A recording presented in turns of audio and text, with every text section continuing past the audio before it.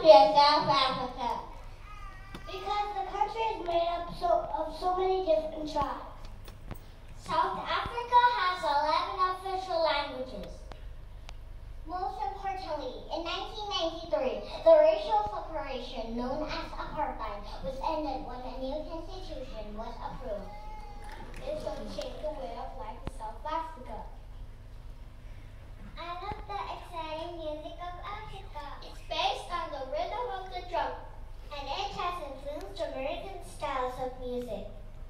like jazz and blues.